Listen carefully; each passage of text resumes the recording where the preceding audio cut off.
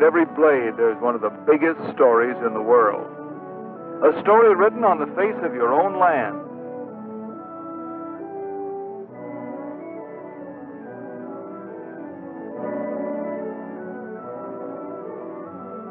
You know, it's not big just because so much of the United States, about a billion acres, is in grass, hay, and forest range, nor because growing grass for hay and pasture is as old as farming itself. It's because we can't live without it. Where would we be without grass? From it comes the energy, which is the first need of animal life.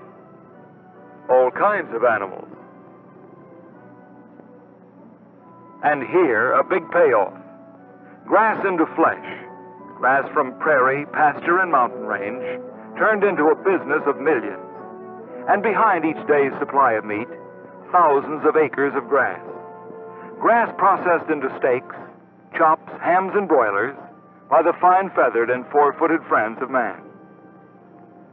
You'd be surprised how many people take all this for granted.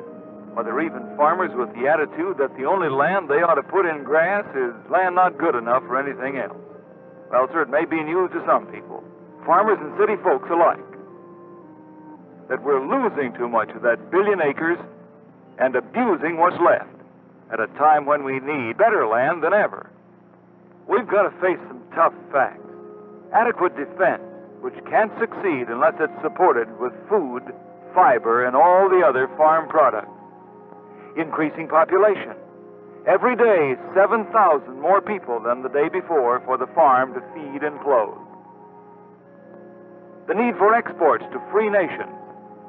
There's an answer in grass farming.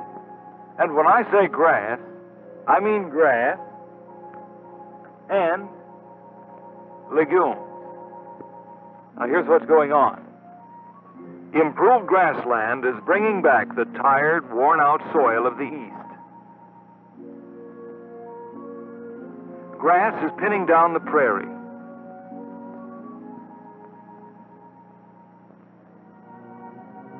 Grass is holding the mountains in place. In some parts of the country, pastures and meadows are feeding a cow and a half to the acre, giving two to six times as much forage as the old exercise lot. Dairymen report cows giving 8,000 pounds of milk, above the national average, for years in a row on just good grass as pasture, silage, or hay without supplemental feeding. Range we thought was gone for good is being made to yield two to four times as much as we ever thought possible. In some areas, cattlemen are getting as much as 600 pounds of beef to the acre. Other cattlemen claim their cattle make gains of over two pounds a day on nothing but grass, no concentrates,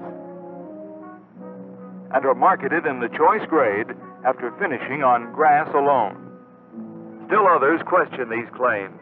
But questioning claims is an old custom among farmers and experts. It's the way we progress. Who can say what's impossible in a country as big as ours? Why, the forage food value of some pastures is estimated equal to 135 bushels of corn to the acre, yet the land wouldn't grow good corn. On the other hand, an increase of 10 to 12 bushels an acre is reported on good corn land by plowing under legumes as green manure. And two or three times bigger yields of other crops have been recorded in rotations with grasses and legumes. The beauty of grassland is the way it saves the soil, makes it rich, and saves money for you at the same time. After the initial investment, costs go down and you get a greater return for your labor. Here's how. Good range will cut feed costs for chickens, turkeys, and hogs. Grass is really going to market these days a market for plenty of milk and meat. It's a healthy sign of the times. Means a better diet for everybody, more steady income for the farmer. In an experiment, a group of steers made a profit of $84 entirely on grazing, while a similar group could net only $48 from dry lot feeding. Here's something to think about, too. You can't wear out a farm in grass. But no matter what kind of a farm you have, you've got to treat grass as a crop. Plant it, rotate, select seed carefully, fertilize, manage grazing and harvesting, control bugs and diseases, exactly like anything else. There'll always be an argument over exactly how much profit you can get out of grass. But I'm not talking out of a book. You know, there's a saying, what a man hears, he may doubt. What he sees, he may possibly doubt. But what a man does himself, he cannot possibly doubt. So, why don't we go get the story of grassland farming directly from those best qualified, the farmers who've done it themselves? Meet Vassal Green in North Carolina. When I first took this farm, it was the poorest piece of dirt in the world. But I named it Green Acres. I'd make it green.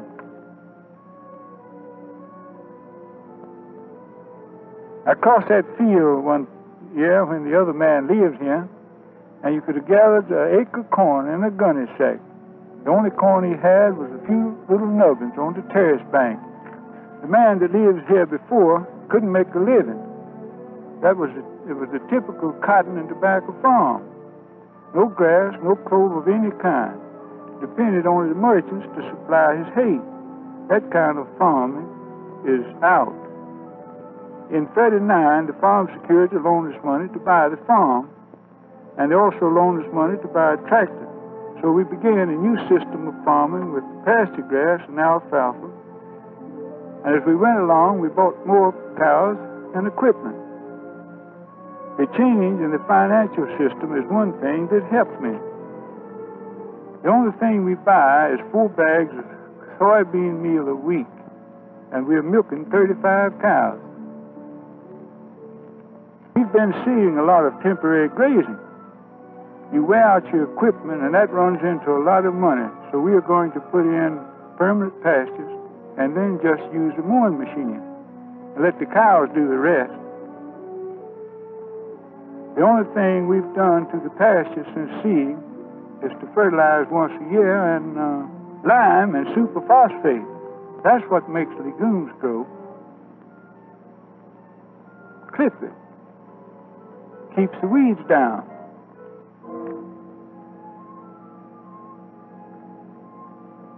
I don't have many weed problems anymore. If we have the water, we could have pastures all the summer. That's one thing we'd like to get into irrigation. I believe if we kept them limed and fertilized, very fertilized, we wouldn't have to feed them ever again. He's over optimistic there. Look how we brought back the soil here. Ryegrass sod speaks for itself. There's one thing about the livestock business. Land gets so run down you can't make a living on growing cotton and tobacco. You can make a living in the dairy business on land. That's what we did on this farm. I don't think anyone can stay in the dairy business anymore without good pastures. And it makes farming easy all around. We don't have to work 12 and 14 as much as 18 hours a day. Don't bother about getting up at 4 o'clock. We get up at 5 or 6, get the milk on the truck, come back, sit down, and read the paper. Now let's look in on Clarence Kaiser out in the Midwest. Well, this was a wore out, washed out farm. Dewberry briars, blackberry briars, sassafras, and persimmons. And that's about what I had to contend with at the start.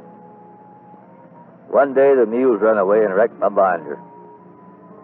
I got out my account book and I found that I hadn't made enough on wheat in 12 years to buy a new binder. Right then, when I got interested in grass.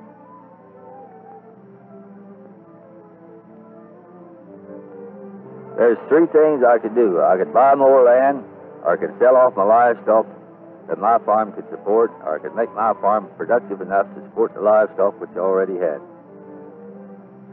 I couldn't afford to buy new land, and I hated to cut down on my livestock, so I had to see what I could do to boost my production. I talked to the county agent, so we put out some test spots to find out how much lime and fertilizers to use on our pastures. to my amazement, I found that where we used three tons of lime and 300 pounds of superphosphate, we just had five times as much as where we hadn't treated.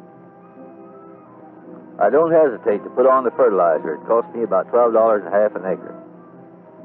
My 78 acres furnished grazing for 300 head of livestock, mostly sheep. I sold $121 per acre for every third acre of land.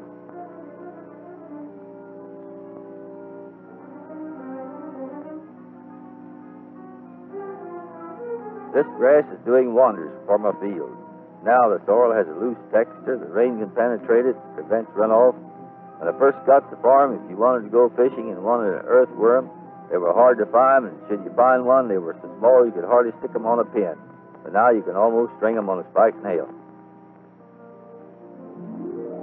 I rotate my cattle and sheep weekly.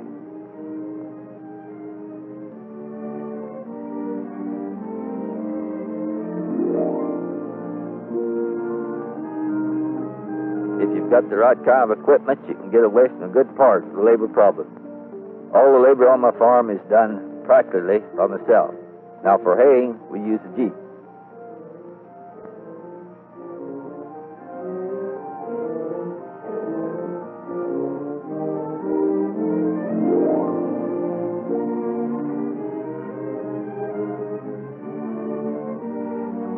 Built this pole barn for hay.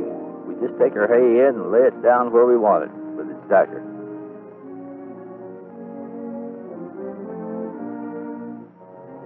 I've got a lot of money tied up in fencing, but I think the extra grazing will soon pay for them.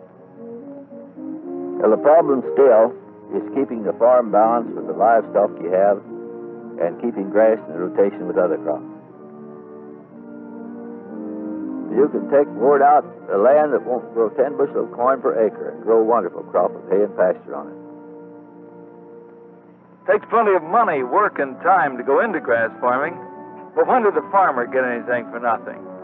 Actually, the farmer who has a sound basis for credit, who wants to get started on a grassland program, can get a loan and help from his cooperative credit association. And you don't have to go all out at the start. Grassland farming can be worked into any farm plan gradually. Uh, let's stop in on three farmers out in the Corn Belt. Wesley Kirkpatrick, You have to get a balance in there. You've got to know what you're going to get before you plunge into it. That's just the whole situation. Charles Kenny, Our corn and small grains converted into meat to go on the table. Somebody has to raise the meat, somebody has to raise the grain to feed them. It all boils down to this. In our American way of life, one fellow does one thing, one fellow the other. It works its way out. It always has. Cecil Ray, Every farm is a problem unto itself. We had about as many problems as any farmer. We classified the soil all over the farm and came back with this map showing the different types of soil and a plan for farm usage of the different kinds of land and different fields. We rearranged our fields, part for pasture and part for four-year rotation. Things that we felt would build up the land and get the most production it was capable of giving. The first thing we had to tackle was our drainage problem.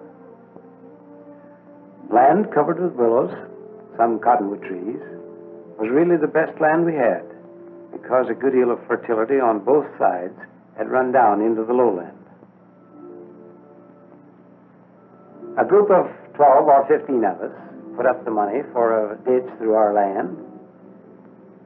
We figured by doing this, we brought in 500 acres of idle land into cultivation. Our high ground that had been pretty badly eroded, we put into pasture, and we do not intend to put that in row crops again. I am sure that for every dollar expended for lime and fertilizer, we have received several dollars in return. We are surprised that the land can come back as fast as it has. I had some hogs years ago. My dad, who's 93 years old, was born on the place we lived on. We had those hogs out on alfalfa. We had corn, the feeder full of feed. Get those hogs to go out in the hot sun, eat that alfalfa. My dad said those hogs are crazy. I never seen hogs act like that before. They sure like that alfalfa. That's what we need in this country. Plenty of good grass for our hogs. This grassland we have here today makes us pretty near as much money as your farm ground. When you stop to figure, you take a good tight beef cow and turn her out on this grass, now that cow will never need any grain. If your hay is fertilized, she'll come out in the spring nice and fat. You turn them out on pasture, they'll drop their calves. I don't think you can make more farming with the amount of fertilizer you have to put on, labor's high as it is, and all that on any land. If our population keeps up, we're going to have to raise more per acre. Now, that's where education comes in, to produce every ounce you can on that piece of ground and keep the fertility up. I think the thing here is, if times come bad when crops are not profitable with the ground as it is, we can raise grass, we can raise beef. These cows will make us a living. Now, pick any method you like, and if emergency comes along, you can always change over. Of course, no two farmers will draw exactly the same conclusion. Take seeding practices. One thinks the only way to plant alfalfa is by band seeding. The hookup drops the seed back of the disc directly above the fertilizer. This, along with shallow seeding, saves seed and assures better stands. Another's favorite method is drilling rye in rotation pastures to furnish extra grazing in late fall and early spring.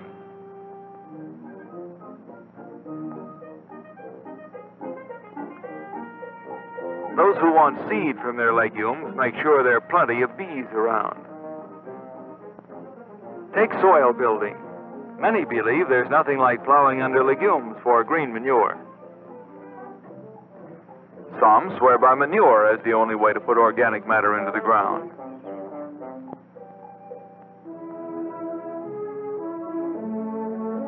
Consider fences.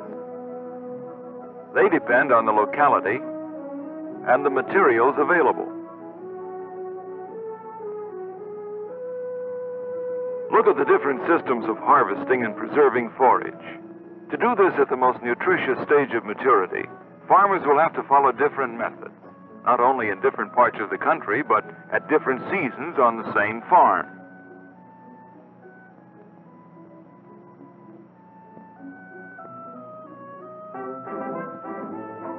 Now, your neighbor may be trying a trench silo. Some say it's cheaper than baling hay. On this farm, they're not even curing the crop of alfalfa, ladino, and brome grass. No hold up in the harvest on account of weather as long as the equipment can get around the field.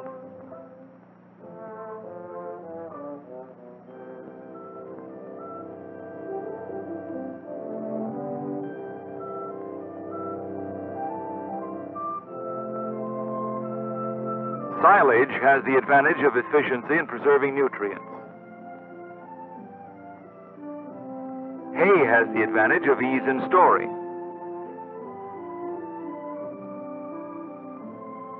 A man with more alfalfa than he needs for pasture or silage can convert it into cash by marketing his crop as meal or as hay. Well, let's go farther west. Nearly half the land offering natural vegetation good for grazing in the United States lies west of a line running down the middle of the Great Plains. But more than 600 million acres of this western range need improvement. Grazed out, burned out, drowned out. blown away. But such things don't have to be.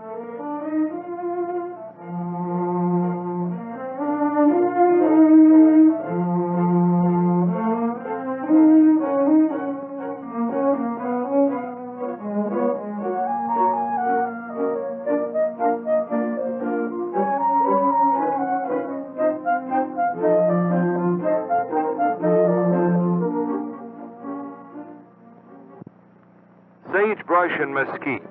Altogether, over 80 million acres of brush, which has crowded out the grass through abuse of the land, can be controlled. In some places by spraying, in others by plowing.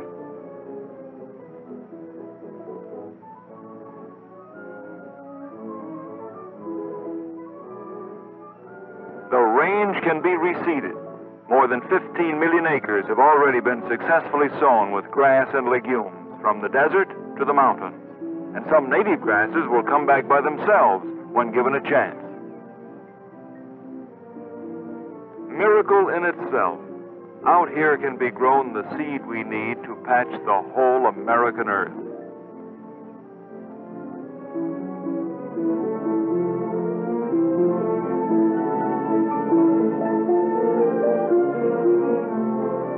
Getting back what we started with means stocking only as many head as the range will support, giving parts of it a rest every few years. Call it management. Make the cattle spread out over the range for even grazing by developing a well distributed water supply, by placing salt licks away from the water, by putting back rubbing devices away from the salt licks and by making the stock time their own supplement with a salt meal mixture in self feeders. On the western range, there's a cycle to be maintained in the movement of cattle and sheep for forage through the four seasons. Winter in the desert valleys.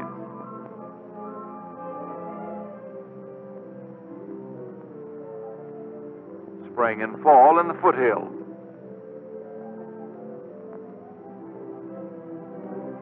Summer in the open forest range higher up.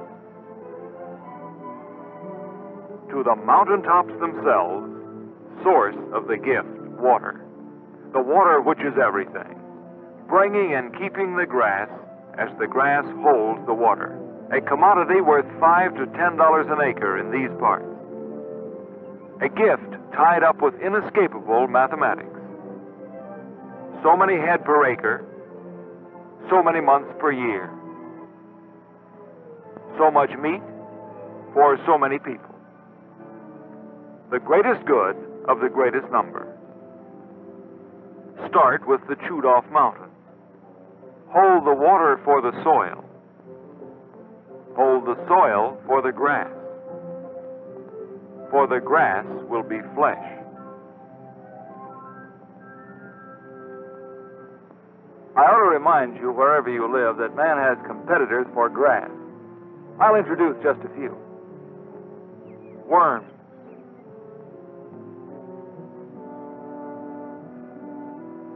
aphids, spittle bugs, and other bugs, grasshoppers. And grubs. But the competition can be met and controlled by the same care which goes into the protection of other crops. I ought further to warn you that there's still some unanswered questions. Why do certain grasses and legumes disappear in some seasons? What's the best method of storing solids? What are we doing to improve the technique for soil testing and broaden our knowledge of fertilization? What combination of grasses and legumes will do the most for us? Why not get the answers from an expert? Dr. Philip V. Cardon, an American pioneer in grass, some call Mr. Pasture himself. Well, there has been a great deal of progress in grassland agriculture in the United States during the last 20 years. This has been due to experience and to scientific experimentation. But we have not yet applied all that we know, and there is a great deal still to be known. Fortunately, scientists are at work in all states applying to the problems of grassland agriculture all of the sciences. They recognize many problems, but they are focusing their attention upon three major problems. Breeding for the improvement of grasses and legumes, which are so essential to good pasturage, for the improvement of management of the sward, taking account of soil, climate, insects, diseases, and other hazards to the maintenance of good sward. Then they are interested in utilization, seeking to preserve in the harvesting and storage of the fodder those nutritional qualities which are so essential to livestock feeding. All of these scientists at work seek to conserve the soil, sustain fertility, ensure feed supplies, and ensure adequacy of food and fiber in quantity, quality, and variety for all our people in an expanding population. This means permanency, and a permanently productive agriculture is essential to national welfare. There's a big job and a big opportunity in grassland agriculture for everybody. Over the nation, only a small fraction of possible good pasture has been improved 10% or so. On the individual farm, one acre of improved pasture can be made to equal two acres of unimproved pasture. How do we know? We know from the results of practices which have always been the mark of a good farmer. Fitting your farm to the land. Planning and managing. Making a plan for your crops and practices. A plan for working grass and legumes into rotations with other crops.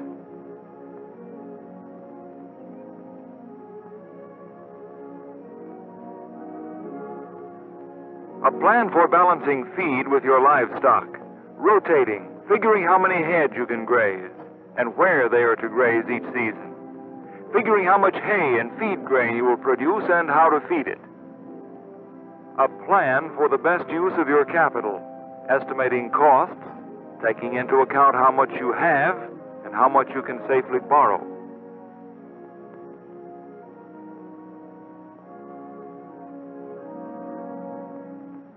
Estimating returns and how long it will take to get additional returns from your investment.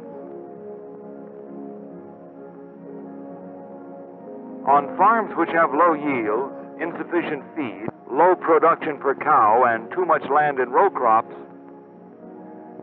a program of increasing grass and legumes for pasture and silage, and in rotations with other crops, a program of renovating permanent pasture, and of increasing fertilization a program which will allow an increase in livestock, will pay, will pay more in proportion, even with slightly higher costs. The old frontier is closed. We Americans are late in learning that there is a limit to natural resources. But grassland farming is a frontier open to every American farmer. A system of farming in which grasses and legumes are used in balanced proportions for silage, hay, and pasture for soil improvement and conservation, for high production, and for profitable farming.